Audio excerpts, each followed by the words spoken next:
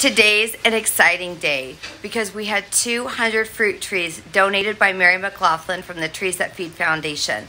Unfortunately, I couldn't be there to pick them up uh, because our truck was still not working, but Kiki, our neighbor, drove Carissa, Anson, and Brunot down today, and 200 fruit trees are on their way back to make their home at the Psalm 139 Love ATC. It's a big 3.5 acre piece of property, so there's plenty of room for them. And one thing I'll say is when I was in Haiti, I really missed out on having a lot of fresh fruit. I don't think there's a lot of fruit trees in the area. So on behalf of myself, my husband Paul, Josh, Barb, Anson, and the full Psalm 139 Love ATC team, we thank you, Mary McLaughlin from the Trees That Feed.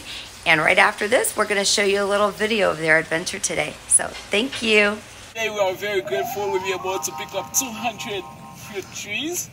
And then we have with us our driver, Kiki.